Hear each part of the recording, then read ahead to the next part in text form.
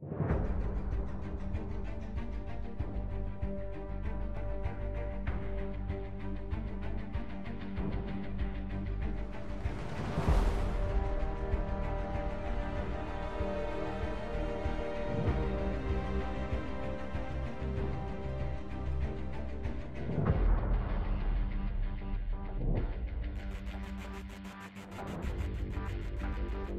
right back.